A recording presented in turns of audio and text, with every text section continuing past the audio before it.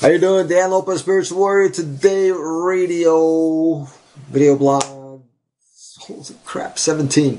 And, um, I was going to do something, but I found out that I was completely unrepa- unprepared for it. So I'm going to do it tomorrow. Um, but it's going, so it's going to be on divination, basically. Oracles, um, oracles and divination. And we're going to cover oracles and divination.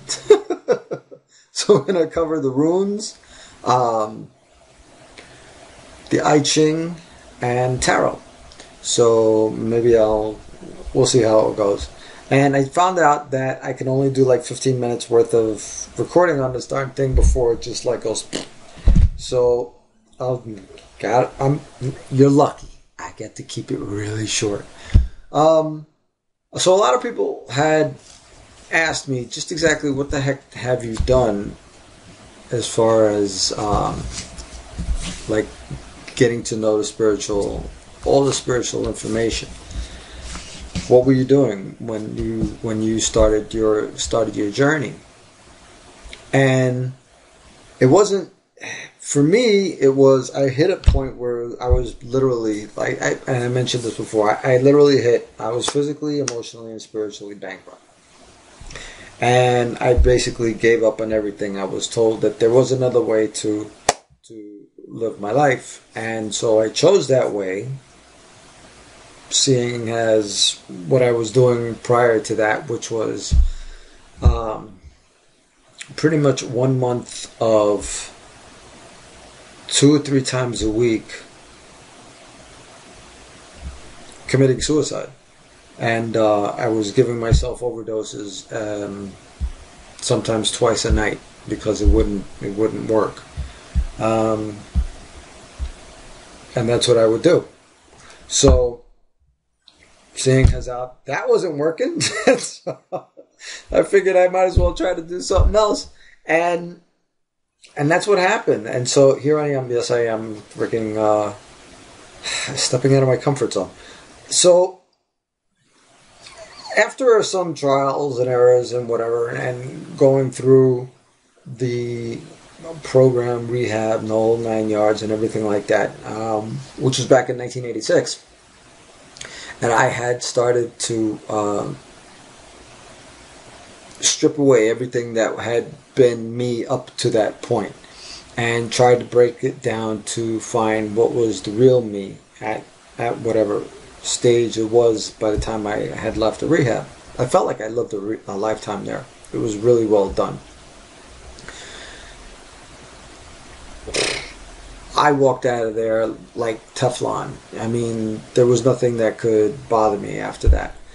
So going back and then going into like 12 step meetings and stuff like that and carrying on from where I had already began because I had already done a whole lot of work in there and dealing with how it was run on the outside was completely different. There were tons of stuff and tons of areas that there were they just were not touching on that um, I was I was um, I was used to you would say, and after a while, I got to about I don't know.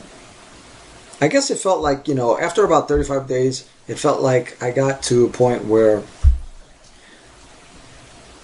people were pissed off at me because I was already at the point stage where I was working my program. Right, it's what it's called. It's working a program, um,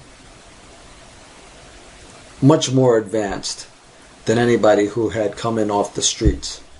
Now, granted, you know when you're in such a thing, you really don't have time to do much else okay? This is what it's this is what it is. You have you go to prayers and meditation in the morning meetings in the morning lunch more meetings therapy sessions more meetings afterwards dinner and you know that's it. You know it's breakfast lunch and dinner but every, everything in between is all like therapy sessions and uh, and and meetings and more meetings and freaking lectures and stuff like that.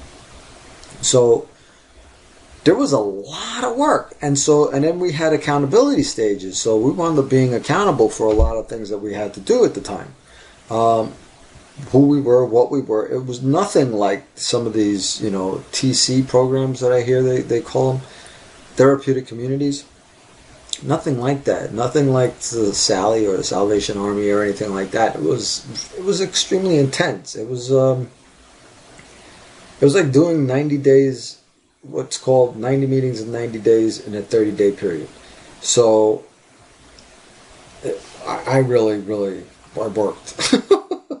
I was done. There was no better way, you know, as far as I can, you know, before I before I got in there, um, I was done, done, done. I mean, I was done by the time I was 19. I was done, and so getting into there was a godsend because up until that point, it felt like you know I couldn't die. You know, heaven didn't want me, and freaking hell, sure enough, didn't want me to get there either. And so, what was he going to do?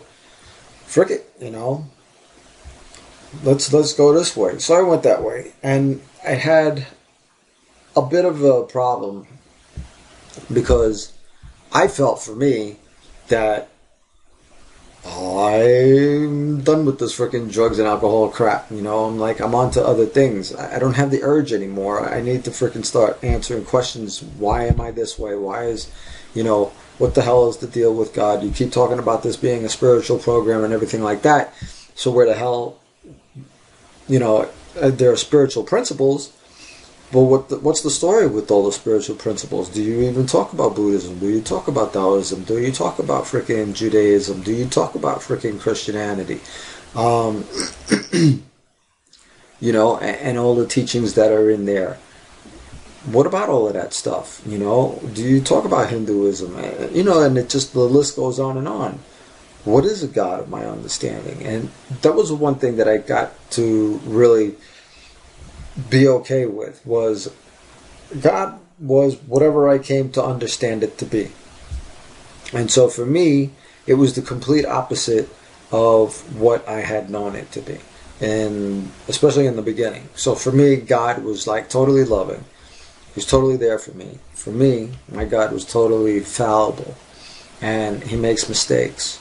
And, you know, because it said in Scripture, he repented after he made man. I mean, if you know everything, you don't feel bad because you made a mistake. You know what I mean? And if you made a mistake, why did you feel bad? Why did you feel bad? So I was like, you know, these are the kind of questions I had. I was like, what? I was like, all right. So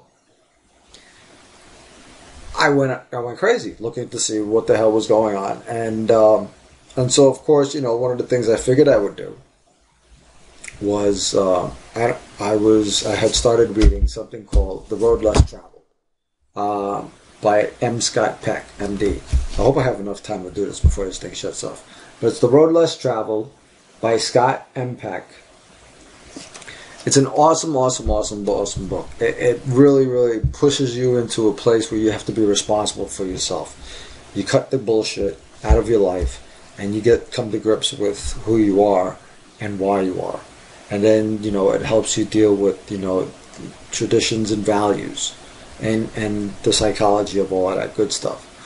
So after I got through that, and putting that and coming to an understanding, I found out about Edgar Cayce And when I found out about Edgar Cayce I, can't remember what I think it was paying attention to some Art Bell coast to coast program and I heard about him, and then I started looking him up. So I went and I looked them up, and when I did, I found the book, you know, called "There Is a River." So I started reading "There Is a River." There, after this one, I read another book, another book similar, which is just the story of Edgar Cayce called um, The Sleeping Prophet. I thought they were both equally well. I thought one told more about him than the other, uh, or different things. Like it, he was depressive. He had, you know, bouts of depression, which kind of made him human in my eyes. It kind of was kind of cool considering everything that he had done at the time. And and he smoked. And I was like, no shit, no.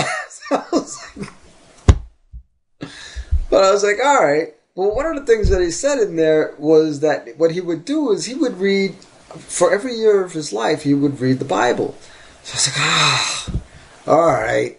So I had seen it, I had read, I had read in it, you know, and then so then I grabbed what he did, you know, because he was into the King James version. So I got the King James version of the Bible, and and I beat the hell out of my first one. This is actually my third, and um, and I I just read I read it cover to cover.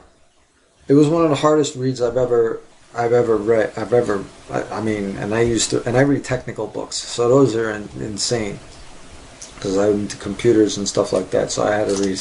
Anyway, so the beginning of it was completely completely brutal. Um, it was the most brutal books that I've ever that I've ever come across. There were some parts of it which was like, oh, do I have to read this? Like numbers and and stuff like that, where it just goes through the line, lin, lineage, the lineage of of um, the tribes. And so I was like, oh my god! But I got through it, you know. I mean, I, I pushed through it uh, like on impulse, like I was saying on the other in the other video. You just got to do it on impulse. So I did it because it was said to do it. And then I go back to it every once in a while. I go through the prophets and stuff like that because I always find things that are relevant. Um, there's a lot of lessons in there. There's a lot of stuff that I consider untrue, but I there's a lot of lessons in there. There's a lot of psycho crap in there. So it's a good read. Definitely, if you get a chance, read the whole thing read the whole thing. You can't just, you know, I mean, it's already been torn apart and put into different sections, and things have taken, been taken out of there. And if you get to read the canons and stuff like that, and the Apocrypha, go for it. You know, scriptures and the ancient texts and stuff like that. There, there's always gems, okay, regardless of, of you know who the messengers are, who's pushing it, and stuff like that. The next book after that was um, A Course in Miracles. Now, A Course in Miracles is not, by any stretch of the term, an easy book to read. There is the book, and then there's a student guide, and then there's a teacher's guide. This one happens to be all three. So, the so I figured if I'm going to do anything, I, I don't ever stop and do that anything half, you know. I, I get obsessed. So I read the whole thing. I read the textbook for students and the manual for teachers. And so it was, oh, it was channeled work. It's supposed to be channeled work. And it's basically the story, it's basically Jesus talking to, talking through this person, telling her about what the deal is since the Bible was written how we're supposed to deal with life on on life's terms and how we're how it's just an illusion and everything like that and how we can get into the holy instant and how we can get back to understanding that materiality materiality is just materiality and that you can really overcome any obstacle that you can so it's a really good book if i mean it is a really good book i mean if you listen if you see a lot of marianne williamson she does a lot of stuff. She like freaking studied her brains off off of this stuff, and she has a lot of uh, excellent, excellent information that you can go up against and, and like put it against your life. Does it work for you? This is what I said to my friends. You know, my my cousins actually who were born again. Speaking of born again, and and remind me about this. Speaking of born again, I was just listening to somebody who was interviewing a pastor, and they were saying that, you know, all of this stuff is born again. We don't need anybody born again anymore. You don't need to be born again anymore. What you do need is to freaking grow up. Okay? What you need to do is become an adult spiritually. Enough of this. All that born again stuff is to keep you like a child and so they can control you. You're done with that. It's time to step up. It's the age of Aquarius. We're moving out of Piscean age. It's done. Done, done. So, in in keeping with the Edgar Cayce stuff, learning about the gifts and everything like that, the next book that I that I read was the Edgar Cayce Primer. Now, the Edgar Cayce Primer pretty much lists all the stuff that you deal with, but it's kind of difficult to. I don't have my glasses with me. It's kind of difficult to say one way or the other how how you're going to handle it because you need all you got to read the whole book basically because it's like it all ties itself into itself. So there's things like in there like the sources of psychic development, reincarnation, karma and grace, dreams, meditation, prayer, personal health, including diet and exercise, holistic healing, sexuality, spirituality, rejuvenation, religion, spiritual psychology, and much more. And so it's an excellent book. If there's one thing that I refer to back over and over and over again, it's the Edgar Cayce Primer, which is also my third, the third copy that I've owned, or the fourth, because I think I've given away like several of them, along with There Is a River and whatever. Shakti Gawain. While going through the Edgar Cayce readings, I, I discovered that I have a really great imagination, but I really had a hard time doing visualization. And so what I did was I picked up the book Creative Visualization by Shakti Gawain. She she's a really great writer and she puts it a lot of things really well, um, step by step, so that you can ease yourself into it. Like if you're having a hard time, you're doing your astral projection or your out of body experience and stuff like that. She shows you ways to get into yourself in your meditative state to find your happy place. And you, from there, you can just start building up um, your visualization to a point where you start seeing things. And the things that you start seeing are things like what's happening with your friends, your families, and, play, and other places and stuff like that. And it just comes to you. It almost opens up the window for remote viewing. It did for me. It did for me. Okay, so that I didn't even have to work on that really. It just oh crap. Like a friend of mine she had just found she just found a dead body of a kid that was missing recently and she wasn't even trying to do it. That's how it is you know? It just it just hits you. This is where it is this is what and boom there it was. Um, there was the body. And um, and god bless her you know? Otherwise you, i mean there is no closure for these kinds of things and what you can do is get some closure. And that, that's kind of cool so the creative visualization was helpful and got me going. The next thing was I was very much into Daniel in the Bible, and Daniel was a Daniel. Daniel was a, an interpreter of dreams. So I picked up by suggestion uh, Elsie Sechrist, and this is the book that I've. This is also like trust me. This is the third copy that I've owned. Dreams, Your Magic Mirror. Um, I don't know if you can read it out there, but the, uh, but this is the book that I have. This is like the foundation of everything. If you come to understand the symbology, now I'm saying all of this stuff. Now watch, everything that I'm doing, that's what worked for me. Okay, if it doesn't resonate with you, that's cool too. You know, you don't have to get into all of that stuff. I'm just saying that this is what happened, and this is the path that I this is the path that I drove that I chose that I started working on. And so when it came to interpreting dreams and stuff like that, this had like everything. Everything. I mean, it covered everything. And so, I mean, trust me, there, I mean, we get some wacky dreams. And there's, you know, there's going to be areas in there. It's going to be like, it's going to be your own symbology. It's going to be your own spirit talking to you. And you're going to have to figure out what these things mean for you. And basically, what you do is you just see what resonates with what's going on in your environment, um, in your relationships, and your day to day happenings and stuff like that. You know, and, and choices that you have to make. You know, and so that was really how you start working on developing your relationship with the interpretations of your dreams.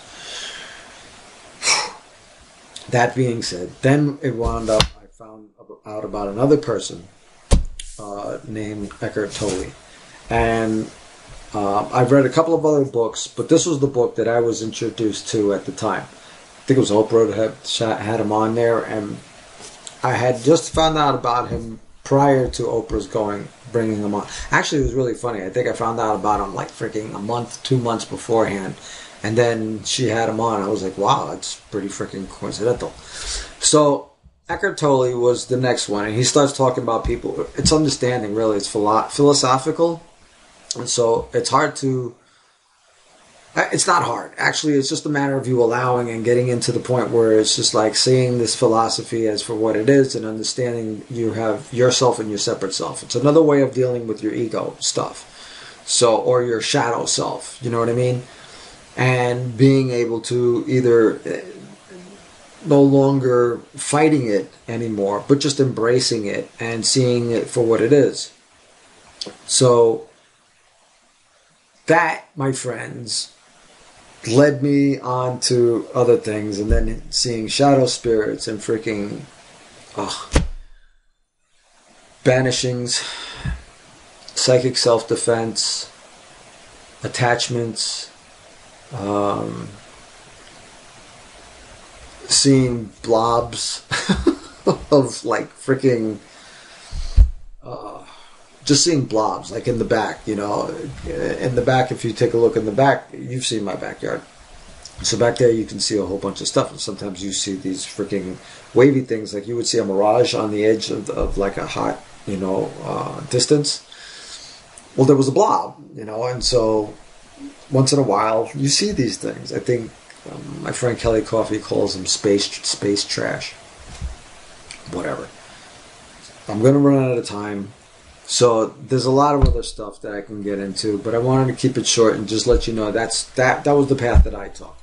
You know, so if you're dealing with me at any at any level whatsoever, this is you know this is that's where I came from.